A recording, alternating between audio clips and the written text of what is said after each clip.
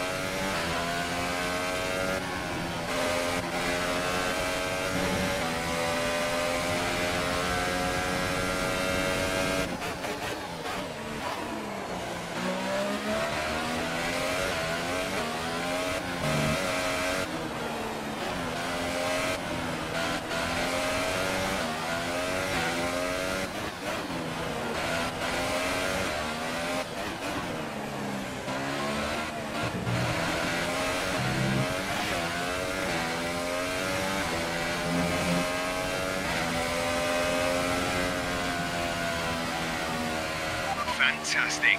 You've won the Grand Prix.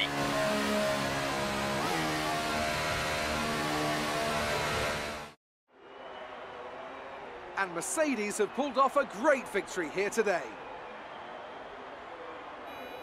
Tell me, Ant, what was the key to this success? Well, I think the track conditions just really suited their car today. Wind, track temperature, you name it.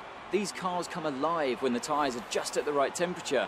So the more easily you can keep them there, the better your race tends to go. And that's exactly what happened. Their car just looks so comfortable out there.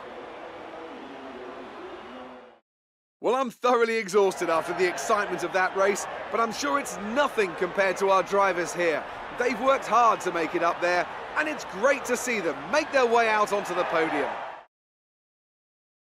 And now I'd like to ask you, Anthony Davidson, who was your driver of the day? Well, I have to give it to Lewis Hamilton. You know, it was just the kind of drive you'd expect from a multiple world champion. That's it for today's Grand Prix, and from Ant and I, it's goodbye, and see you again next time.